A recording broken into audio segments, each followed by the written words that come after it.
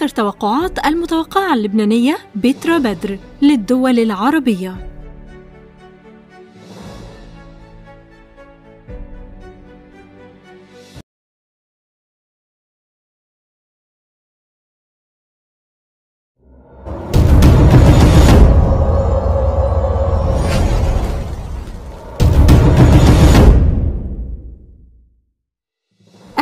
بحضراتكم معانا في قناة الأبيض وحلقة جديدة من حلقات التوقعات. النهارده معانا حلقة مختلفة لتوقعات المتوقعة والروحانية بترا بدر. بفكرك الأول تعمل لايك للفيديو عشان يوصل لكل متابعي التوقعات في العالم. ولو أنت جديد معانا يا ريت تشرفنا بالاشتراك في القناة وتفعيل الجرس علشان توصلك كل فيديوهاتنا أول بأول. بترا بدر ابتدت كلامها عن لبنان للفترة الجاية وقالت إن بالنسبة لوضع الكهرباء فبتقول إن هيكون فيها تحسن بشكل كبير وهتكون أفضل من الدول المجاورة وممكن كمان وضعها يكون أفضل من الدول الأوروبية. كمان قالت إن لبنان أصلا بتاخد مساعدات من روسيا وكمان من إيران ده بالنسبة للكهرباء. كمان أسعار المازوت والحطب هتغلى جدا بداية من الشهر اللي جاي. وهيبقى في بداية ال 2023 حلول لمشاكل الكهرباء في لبنان. كمان للأسف الشديد قالت إن لبنان سينقسم وهيكون في ما يسمى برسم الحدود المائية والبرية في لبنان.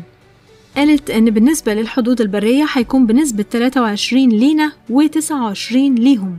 أما بالنسبة لأوضاع الجيش اللبناني ففي 2022 ابتدت المساعدات تجيلنا وكمان ابتدت يكون في نظام أحسن لموظفي معاشات القطاع العام وكمان الأشهر اللي جاية هنشهد فيها حلول أكتر حلول أكتر للجيش وهيكون في كمان تدريبات خاصة بالجيش اللبناني وكمان الإنترنت هيتحسن بشكل ملحوظ ومش هيكون في انقطاعات وكمان برضو شبكات الاتصالات سوف تتحسن بقدر جيد.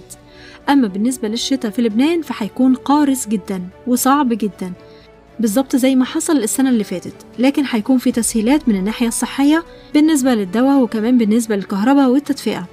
بس الأسعار هتكون في علو طول الفترة اللي جاية وكمان الدولار هيفضل متأرجح لدرجة إنه مش هنشوف رقم خمسين ولا مية في الكام شهر الجايين.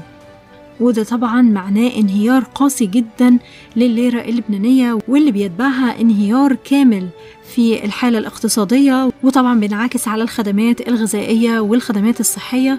نتمنى إن شاء الله إن ما يحصلش التوقع ده ويحصل تغيير بالنسبة لوضع لبنان في الأشهر القادمة. بترا بدر كمان بتقول بالنسبة للدولار فهيحصل فيه مشكلة خاصة بأمريكا. هتنخفض قيمة الدولار كتير وده هيكون في صالح طبعا الليرة اللبنانية لكن المشكلة دي هتتحل طبعا بواسطة الاقتصاديين والسياسيين وللأسف هيبقى فيه انخفاض لقيمة الليرة مرة تانية. وكمان هيكون فيه حلول لأزمة استخراج الغاز اللي هتحصل. كمان هنشوف مشاكل كبيرة بالنسبة للبنك الفيدرالي. كمان هيرجع الدولار مرة تانية ويتأرجح ل 28 وأول مرحلة وبعدين هيرجع 24 ويفضل متأرجح بين 18 و 24 كمان المرحلة الجاية بيتشال صفر من عملتنا والمرحلة اللي بعدها العملة الرقمية هيتم ربط العملة بالذهب اللي هو أصلا مربوط بلبنان بس هيبقى بالطريقة دي. أما بالنسبة للحكومة فهنشوف إنه في حكومة جديدة هتكون تحت ولاية الرئيس ميشيل عون. وبالنسبة للرئاسة فهيكون في تأخير شوية بالنسبة للرئاسة في لبنان. كمان هيكون في تأخير بعض الأسابيع أو بعض الأشهر من ست سنين بالنسبة للرئاسة. أما بالنسبة للمدارس فبتشوف بترا بدر إنه زي السنة الماضية هتكون أوقات أونلاين وأوقات حضور. أما بالنسبة للجامعات مش هيكون دايما في حضور جامعي والأكترية هتكون أونلاين كمان هيسمحوا للتلاميذ لو ما حضروش إنهم يعملوا فحوصات قبل فترة الامتحانات يعني بمعنى أصح إنهم حاسبين مواعيد الامتحانات من بداية العام الدراسي القادم 2023 كمان هيكون في كتير ناس بتقبل على الجيش وهيكون في تساؤلات عن استلام الجنرالات وتسليمات الجيش عموما. قالت كمان بيترا بدر إن هيترك الرئيس عون رسالة قبل ما يهرب من قصره وهيكون في اغتصابات حادة وهيكون في التجاءات للدول العربية وهيكون في تدخل بانتخابات رئاسية. وكمان بتتوقع بترا بدر إن هيتم اختيار آه هي بتقول بشوف القائد سليمان فرنجية رئيس للحكومة وكمان هيكون في وجود للست ريا اللي طاقتها قوية جدا كمان بس لازم يكون في تيار مستقبل الموضوع ده لأن الطاقة أصلا موجودة وكان في رئيس حكومة قبلها. وبالنسبة لريا حسن هي اللي بتيجي والرئيس إذا مش هيرجع يعني بنرجع نتكلم بالنسبة للسنين الجاية والست سنين القادمة. ولكن دلوقتي رأي الحسن هي الطاقة الأفضل اللي ممكن تقود الحكومة.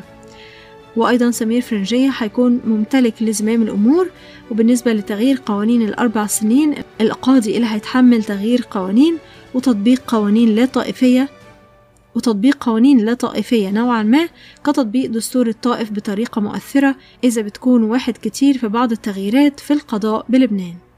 متابعينا الأعزاء ده كان الجزء الأول من توقعات اللبنانية المتوقعة بترا بدر. استنونا في حلقة بكرة إن شاء الله هنكمل لكم باقي توقعاتها الخطيرة اللي شايفاها للبنان وللدول العربية.